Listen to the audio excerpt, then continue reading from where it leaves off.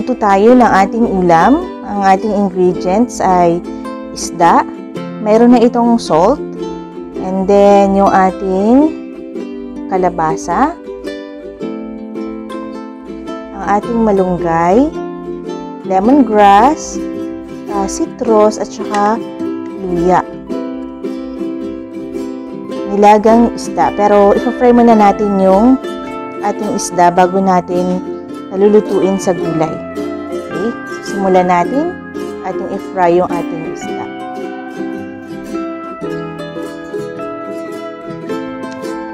Lagyan natin yung mantika. So, i-fry muna natin yung ating isda bago natin ilalagay sa ating gulay na kalabasa. Pag uminit na yung mantika, saka natin ilalagay yung ating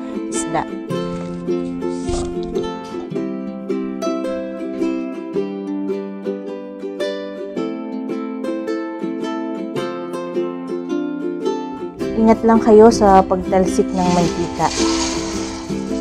Kapag inilagay na agad yung isda na hindi pa mainit yung mantika, uh, didikit yung ating isda. Mahirap balik ka rin.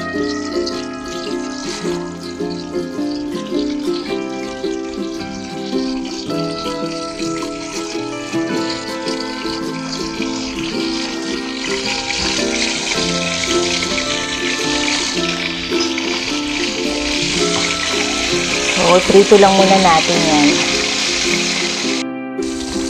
Balik na rin natin yung ating isda. Oops, yan. Dahan-dahan lang para hindi tumalsik yung ating mantika.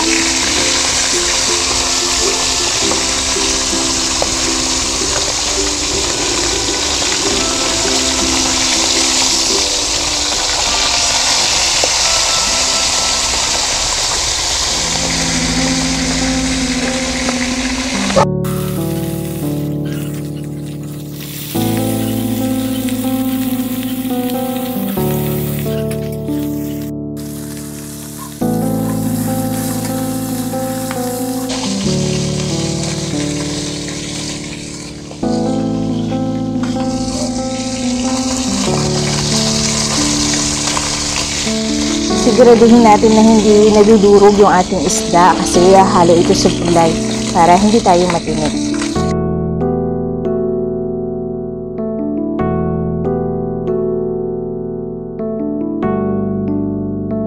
So, magluluto na tayo ngayon ng ating uh, gulay na sinahugan ng pritong isda. Meron na itong water. Ang nilagay ko lang ay mga 2 cups of water. Then, pakuluan muna natin ito.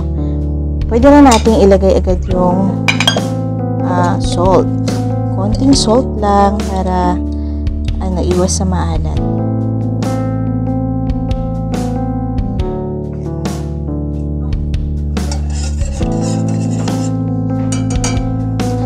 Pag nag-start na siya to boil, yung parang malapit na siyang kumulo, ay ilalagay ko na yung ating kalabasa.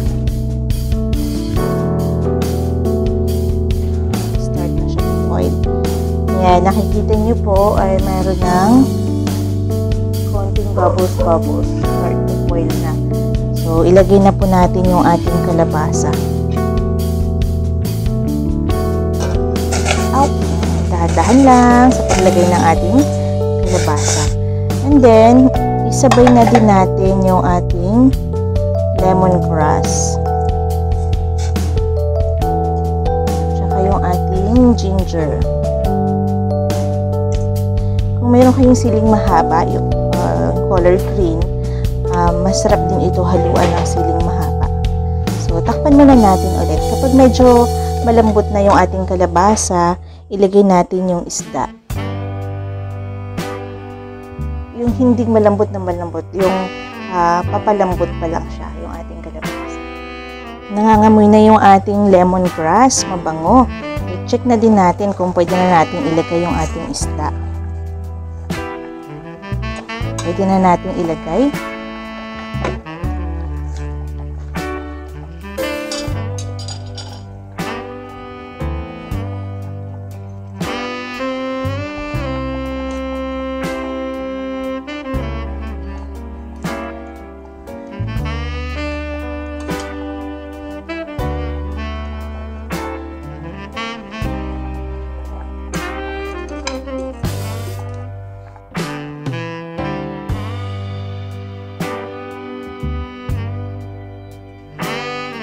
Malambot na yung kalabasa, ilalagay natin yung ating malunggay leaves at saka yung aasiman natin siya ng citrus. Tagpan natin ulit. Hayaan natin kumulo.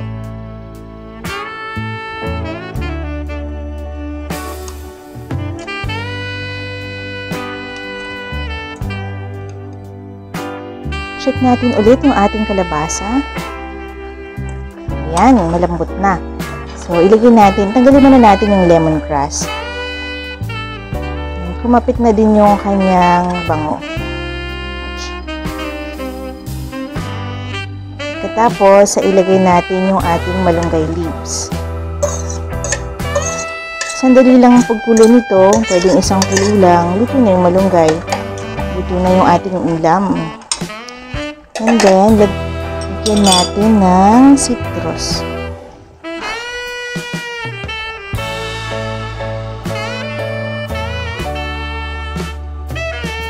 Kunti lang. At lagyan din natin ng malunggay powder. Optional lang ito, pwedeng lagyan, pwedeng hindi.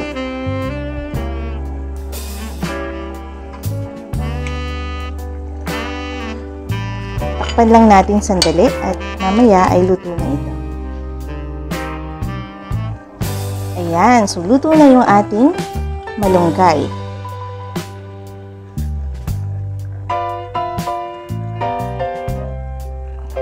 Turn off na natin yung apoy. I-ready na, i-ready na natin yung ating ulam. Ang masustansyang kalabasa, malunggay, na may kasamang